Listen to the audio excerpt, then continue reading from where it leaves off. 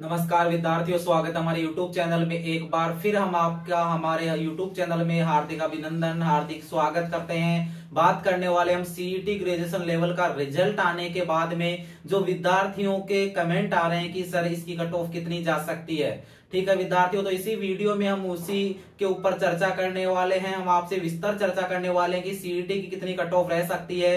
कई विद्यार्थी पूछ भी रहे कि, सर, हम तैयारी कर ले या नहीं करें?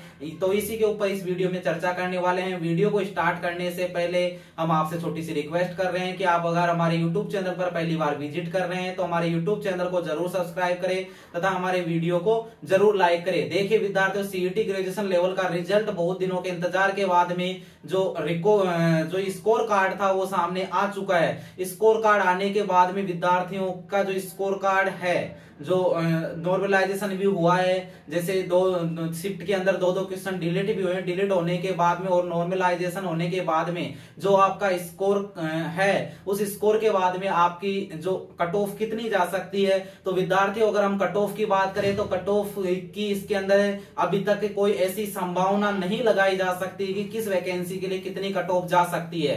विद्यार्थियों, इसके अंदर बात करें हम कट ऑफ़ की तो इसके अंदर पंद्रह गुने विद्यार्थी पास किए जाएँगे। अब वो पंद्रह गुने विद्यार्थी किसके लिए पास किए जाएँगे? जो आपकी वैकेंसी आएगी। सपोज़ करो आपकी वैकेंसी, सौ वैकेंसी आती है जैसे किसी के अंदर भी। सपोज़ करो हम कोई वैकेंसी ले रहे हैं, महिला पर्यवेक्षक की वैकेंसी ले लें और महिला पर्यवेक्षक में अगर आपकी सौ वैकेंसी आती है तो आपकी कट ऑफ़ जो इसके अंदर जो विद्यार्थी पास किए जाएँगे, इसके पंद्रह गुणे पास किए जाएँगे।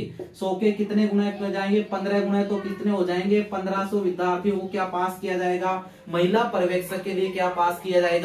पंद्रह सौ विद्यार्थियों को पास किया जाएगा। तो विद्यार्थियों, ऐसे किसी भी वैकेंसी के बारे में कट ऑफ़ का एक सही अंदाज़ा लगाना बहुत अनुमान लगाना बहुत डिफ़िकल्ट है, क्योंकि अभी तक कोई वैकेंसियों का पता नहीं है। क्योंकि जो वैकेंसी बताई गई थी नोटिफिकेशन में जो सात आठ वैकेंसी आठ वैकेंसी थी ग्रेजुएशन लेवल में, उनमें जो सीट वैकेंसी बताई गई है, उस वैकेंसी के अंदर आपकी वैकेंसी घट भी सकती है और बढ़ भी सकती है। तो जैसे कि सबसे ज़्यादा वैकेंसी जूनियर अकाउंटेंट की है तो उस जूनियर अकाउंटेंट के अंदर जैसे पाँच हज़ार वैकेंसी है। तो पाँच हज़ार लगभग मतलब चार हज़ार नौ सौ कुछ वैकेंसी लगभग पाँच हज़ार हम मान सकते हैं। तो उस पाँच हज़ार वैकेंसी का पंद्रह गुना, लगभग पिछहत्तर हज़ार विद्यार्थियों को क्या पास किया जाएगा? और वो भी किन विद्यार्थियों को पास किया जाएगा?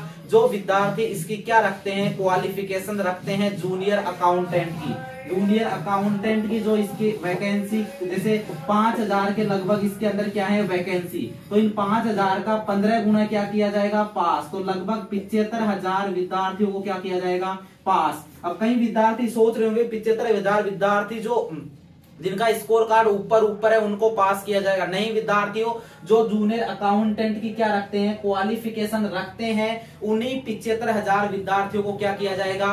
पास किया जाएगा। इसलिए इस कट ऑफ़ का इतना ज़्यादा अनुमान लगाना नहीं लगा सकते कि इतनी कट ऑफ़ जा सकती है। हाँ एक आगे, अब आपका स्कोर कार्ड अच्छा है तो आप इसकी तैयारी कर सकते हैं। अब जैसे हम बात करें जनरल की तो विद्यार्थी अगर जनरल के अंदर जनरल ओबीसी की ले हम इसके अंदर जनरल और ओबीसी की बात करें तो दोनों की कट ऑफ़ लगभग सेम रहने वाली है। तो इसके अंदर इनका स्कोर कार्ड 110 प्लस है। कितना है? 110 प्लस है। अगर आपका स्कोर कार्ड 110 या या इसके नीचे तो आप नहीं ले, लेकिन अगर 110 भी आपका स्कोर कार्ड है तो जिस भी वैकेंसी की, आप पुलिस की, या पटवार की, जूनियर अकाउंटेंट की, महिला प्रवेश की, प्लाटून कमांडर की, जैसे कई वैकेंसी है तो उनकी तैयारी करना चाहते हैं तो 110 प्लस अगर आप जनरल ओबीसी में आपके नंबर है तो आप इसकी तैयारी कर सकते हैं। जैसे हम एस सी एस इनके कट ऑफ़ की बात करें तो एस सी में और इनमें एस सी और अदर कैटेगरी है, इसके अंदर अगर आपके 100 प्लस नंबर है, कितने हैं? सौ प्लस अगर आपके नंबर है तो आप बेझिझक इसकी क्या कर सकते हो सीईटी में जिसकी भी एग्ज़ाम की तैयारी करना चाहते हो, उसकी तैयारी कर सकते हो आप इसके अंदर। ठीक है, विद्यार्थियों? तो ये एक आपके लिए एक था कि आपकी कितनी क्या कट ऑफ़ जा सकती है। बाकी तो इसकी कट ऑफ़ का अंदाज़ा जो आपका नोटिफिकेशन जारी होगा। नोटिफिकेशन जारी होने के बाद जो आपकी वैकेंसी आएगी, उस वैकेंसी का पंद्रह गुना पास किया जाएगा। तो नोटिफिकेशन के बाद में ही आपका अंदाज़ा लगा सकते हैं कि किस वैकेंसी के लिए कितने विद्यार्थी और कितनी कट ऑफ़ आपकी जा सकती है। अभी तक कोई ऐसा सही अनुमान नहीं लगा सकते कि इतनी कट ऑफ़ जा सकती है। ये आपके वैकेंसी के ऊपर डिपेंड डिपेंड करेगा। अब कई विद्यार्थियों का डाउट है कि sir CET ten plus two का रिज़ल्ट कब तक आ सकता है? तो विद्यार्थियों सीईटी टेन प्लस टू का रिज़ल्ट अभी दस से पंद्रह दिन का टाइम लगने की पूरी पूरी संभावना है कि कम से कम पंद्रह मई के बाद में ही आपका क्या आएगा? सीईटी टेन प्लस टू का रिज़ल्ट आपको बहुत ही जल्दी देखने को मिलने वाला है। जिस प्रकार से पहले भी था कि ग्रेजुएशन का लेवल ग्रेजुएशन सीईटी का रिज़ल्ट आएगा, उसके बाद में किसका रिज़ल्ट आएगा? टेन प्लस टू का रिज़ल्ट आएगा। तो मई के महीने में पंद्रह मई के बाद में इसके लगभग आपको टेन प्लस टू सीईटी का रिज़ल्ट देखने को मिलेगा। उसके अंदर भी आपका वही स्कोर कार्ड डाला जाएगा और स्कोर कार्ड डालने के बाद में जो वैकेंसी आएगी, उसी का पंद्रह गुना विद्यार्थियों को क्या किया जाएगा?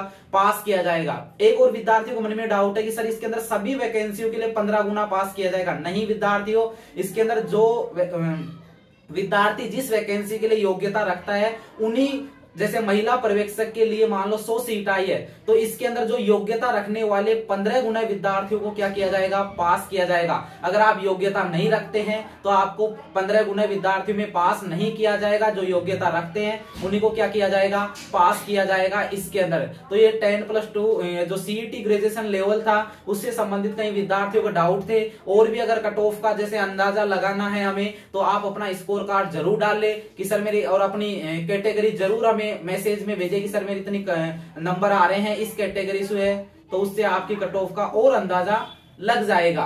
ठीक है विद्यार्थियों तो ये आपके लिए जो डाउट थे, उनके ऊपर हमने एक वीडियो बनाया कि आपके टेन प्लस ग्रेजुएशन लेवल का जो रिज़ल्ट है स्कोर कार्ड है, वो डालने के बाद में आपकी कितनी क्या कट ऑफ़ रह सकती है? अगर जनरल में आपके 110 प्लस नंबर है ओबीसी में लगभग सेम रहने वाली है तो आप इसकी तैयारी कर सकते हो कोई सी वैकेंसी की। और एस सी में अगर आपके सौ प्लस नंबर है तो आप बेझिझक इसकी क्या कर सकते हो? तैयारी कर सकते हो। अभी तक जो वैकेंसियों का जो निर्धारण किया गया है जो वैकेंसी आने की संभावना बाकी विद्यार्थियों, जब भी नोटिफिकेशन जारी होगा वैकेंसियों के बढ़कर आने की पूरी पूरी संभावना है। तो उस टाइम पे ही हम कट ऑफ़ का अंदाज़ा लगा पाएँगे कि कितनी किस कैटेगरी की कितनी कट ऑफ़ जा सकती है। तो ये आपके लिए हमने वीडियो बनाया। आई होप आपको ये वीडियो पसंद आया होगा। अगर आपको हमारा वीडियो पसंद आया तो हमारे वीडियो को ज़रूर लाइक करें। तथा हमारे चैनल पर पहली बार विज़िट कर रहे हैं तो हमारे चैनल को ज़रूर सब्सक्राइब करें। ओके धन्यवाद।